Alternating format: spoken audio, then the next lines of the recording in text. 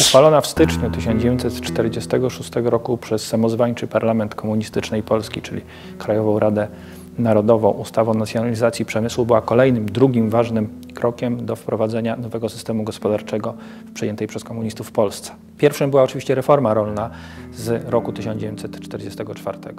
Natomiast w 1946 roku ustawa o nacjonalizacji przemysłu założyła całkowitą nacjonalizację 17 gałęzi przemysłu, w tym kluczowego, takiego jak górnictwo, przemysł ciężki, ale również na przykład mm, drukarnie. To ostatnie oczywiście w celu znakomitego wykorzystania e, uprawnień, jakie miała cenzura i pilnowanie tego, żeby do społeczeństwa nie przedostawały się takie wiadomości, jakich władza sobie nie życzyła.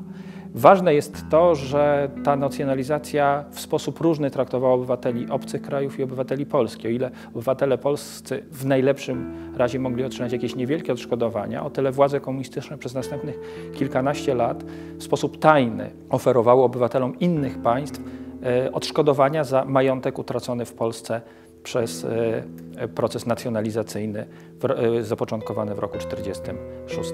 To najlepszy przykład tego, w jaki sposób władza ludowa, która de facto była władzą e, komunistyczną, swoich obywateli traktowała wręcz wrogo, wręcz obco i w sposób znacznie gorszy niż obywateli innego kraju.